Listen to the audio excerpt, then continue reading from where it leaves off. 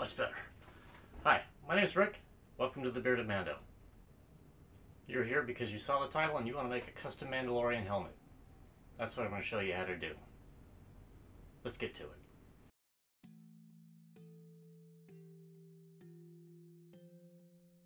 Alright, the first thing I'll do is peel all the stickers off the helmet. So many stickers.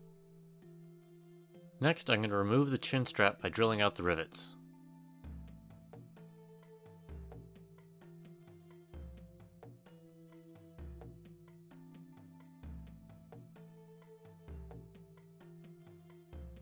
I'm going to hold on to this because I might use it in a later project.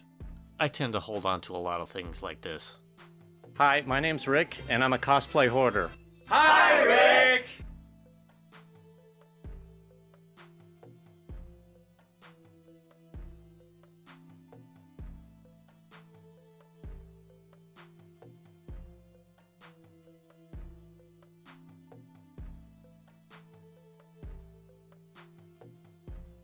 After the chin strap is removed, I moved on to sanding.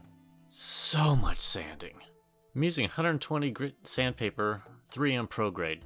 This stuff is great wet or dry sanding, and to be honest, I've misplaced more of this stuff than I've actually used. Some of the stickers left a residue that didn't come off with the sanding.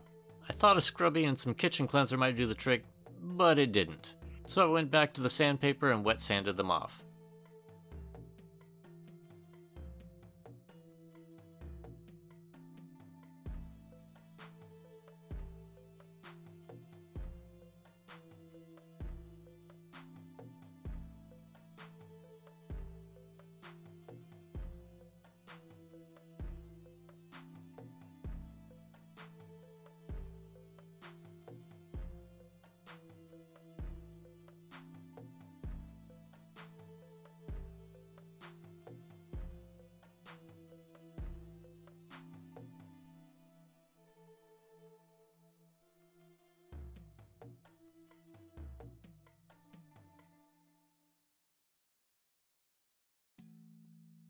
As I was sanding, I found a crack.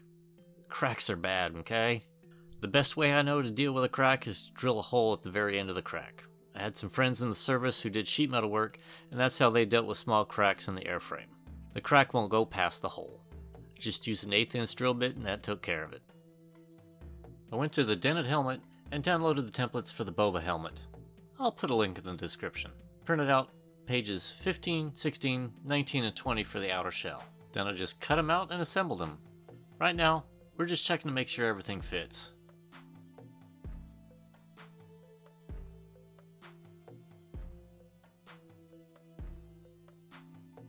I like to print my templates out on heavy cardstock. It's just easier for me to work with, and they hold up a lot better than paper. You can print them out on paper, but it's a good idea to trace them out on poster board they'll just, like I said, they'll just hold up a lot better.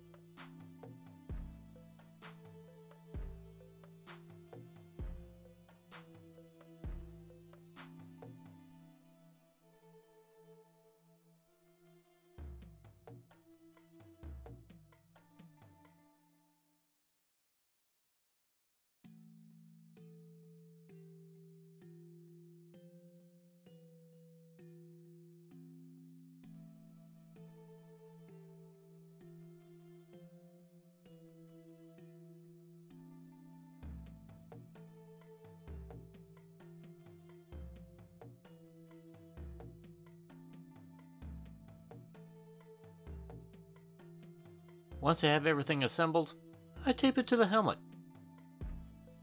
Make sure you find the center line on the helmet. It'll make life so much easier. I'm going to try and set this about half inch from the lip on the front just to keep it level.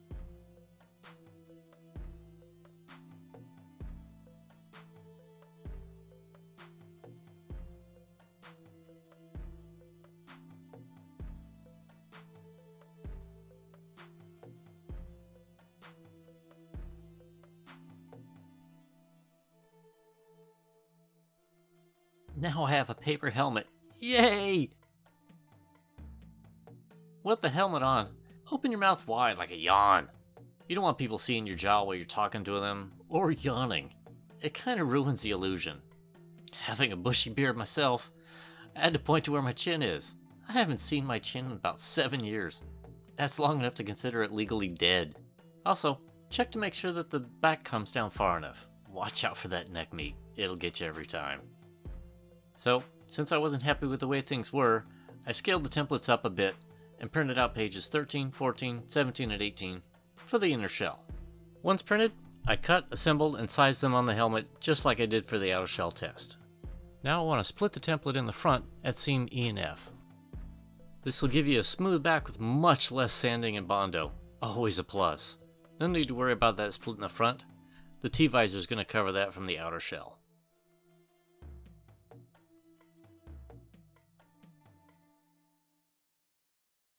The next step is to temporarily remove the padding from the helmet. Most of the padding was held in by Velcro, but the top is glued in. And then I sanded the inside of the helmet. Did I say there would be sanding? There's going to be so much more sanding. Brace yourself. On to closing the holes.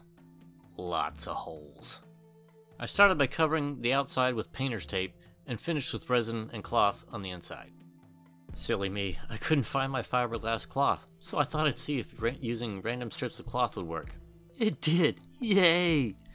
It's not as strong as fiberglass cloth, but it's strong enough for Bondo. Remember, it's so much easier to do this when your cloth is pre-cut. Mix up the resin per the instructions. This stuff can be kind of touchy. Make sure to do this in a well ventilated area. Use gloves and a mask. Safety first.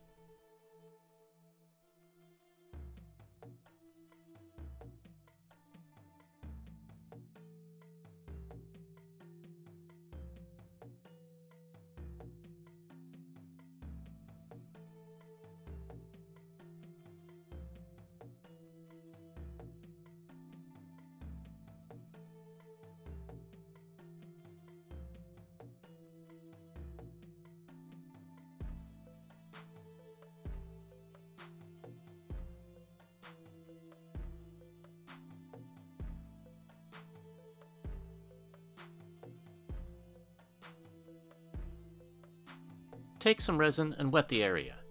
Then just place the cloth on the resin and add more resin. Make sure the cloth is saturated and smoothed out.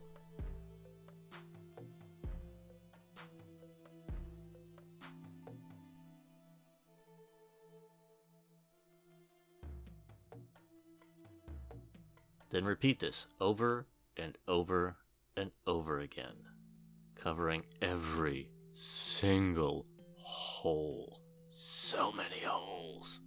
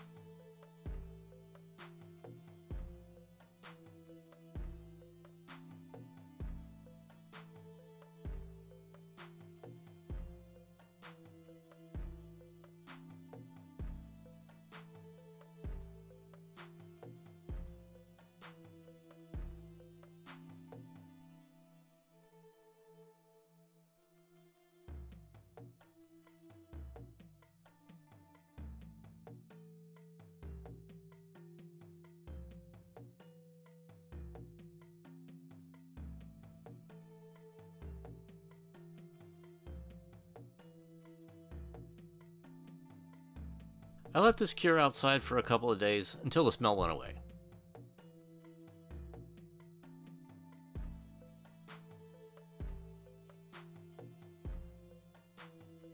Now back to the inner shell template.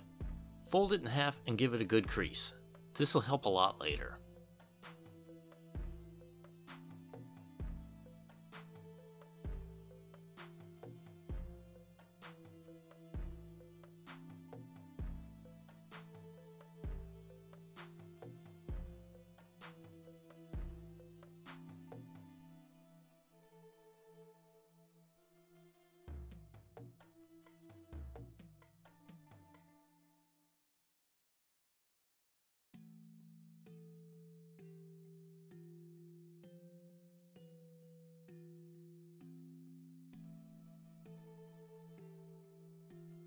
I sanded down the bucket inside and out and cut off the handle. Yes, I kept the handle. I hoard a lot of things. Let's move on, shall we? Place the bucket on a level surface and use a T-square or just a sheet of paper to make a perpendicular line. This is to make sure that our template doesn't get laid out all wonky. So we're going to take the crease on the template and the line of the bucket and we're going to line those up. Then we're just going to start taping the template into place.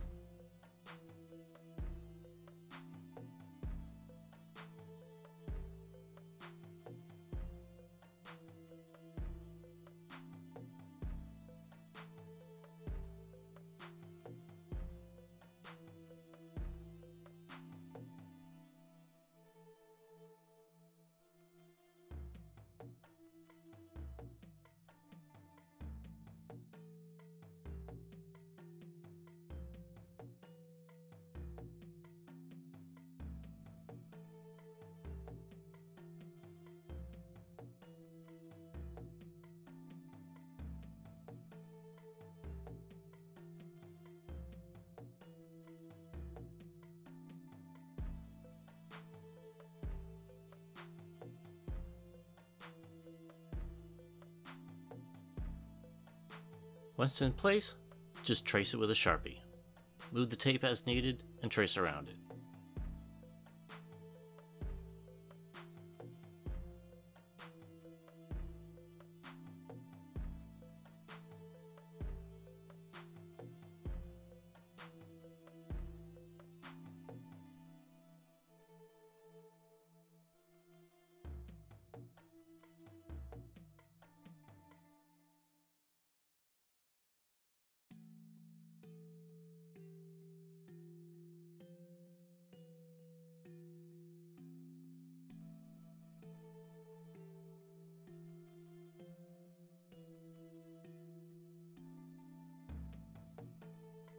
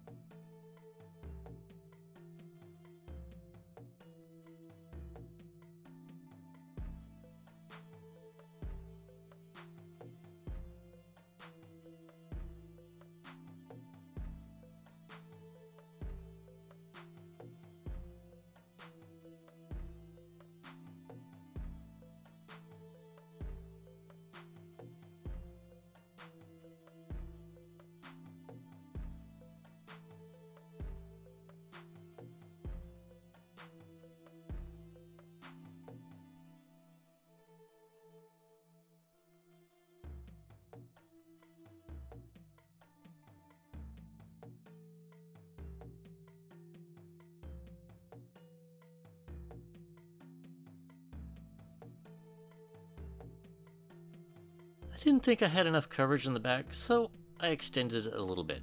Hashtag Mando Mullet!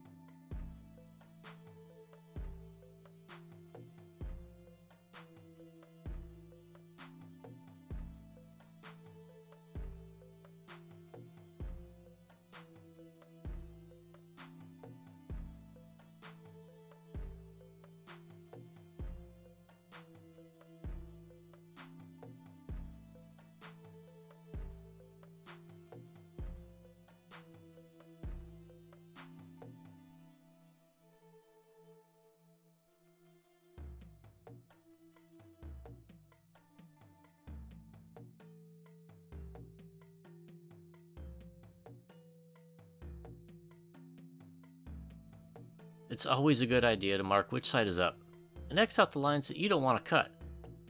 Always, always, always start with a sharp blade. Take it slow and use shortcuts. Make sure you pick which side of the marker you want to cut on. On some things like the inner shell, it doesn't matter, but on other patterns, it might. Cutting on the inside means less sanding, but it also means that there is no room for error. In this case, I'm trying to cut on the inside of the marker. Big tip I picked up from watching Adam Savage, always put your tools where you look for them.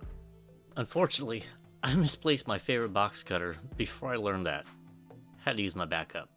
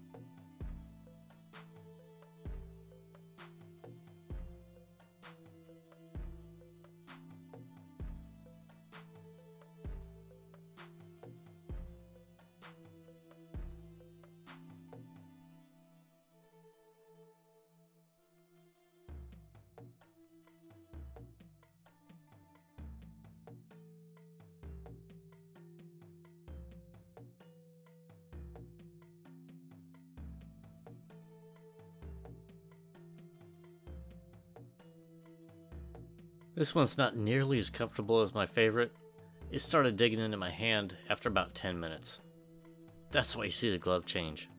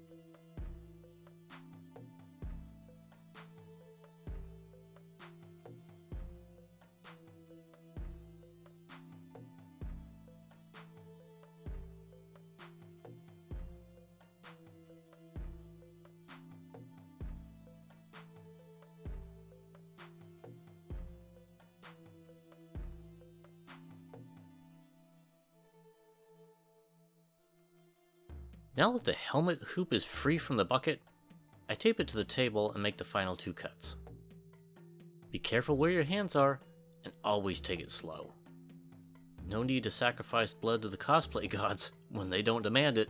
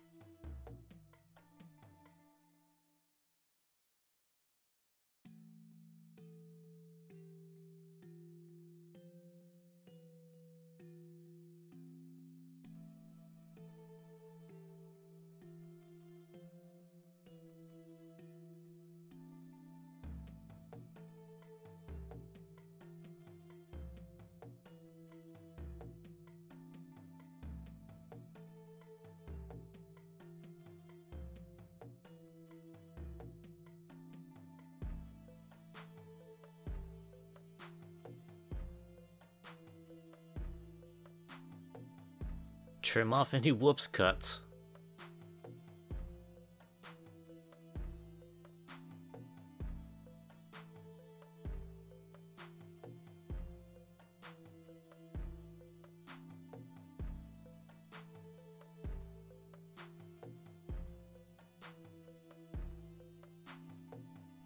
I trimmed the helmet down a bit, cutting the back down with a rotary tool and a saw blade, and then sanding the front a little bit.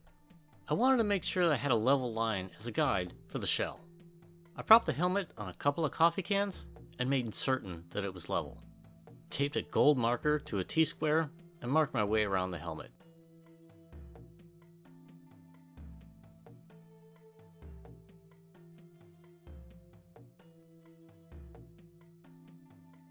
Now this is where the gold line and the center line become very useful. Using these as guides, I tape the shell in place with heavy black tape.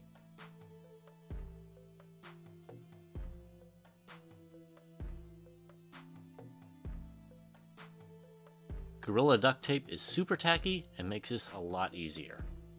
Pre-cut your tape into strips before you start. It makes things easier.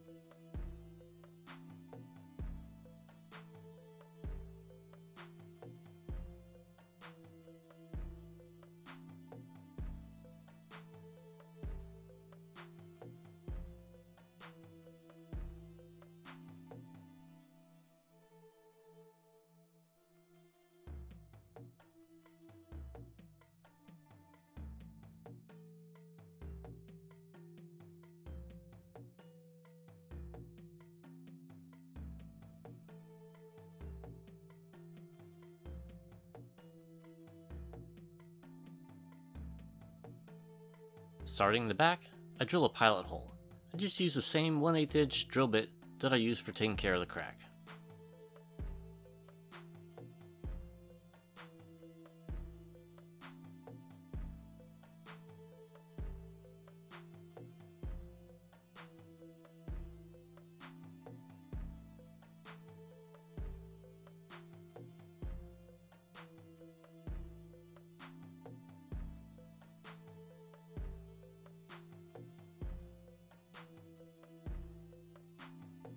If you don't have a rivet gun, you can just use small wood screws. Just make sure that the threads are smaller than your drill bit. Number 6 wood screws that are half inch and an eighth inch drill bit should do the trick.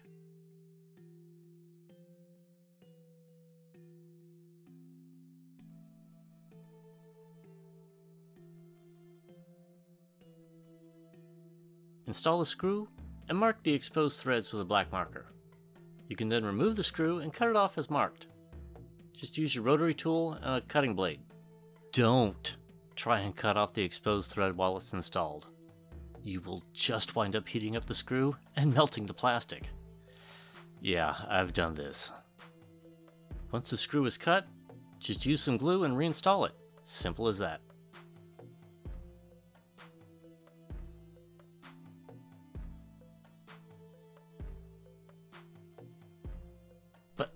Have a rivet gun.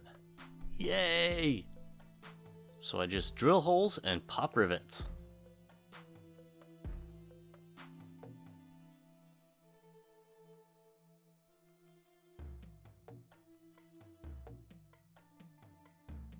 Make sure you don't drill into your hand. This would be bad. Check your spacing to make sure that there are no gaps between the shell and the helmet.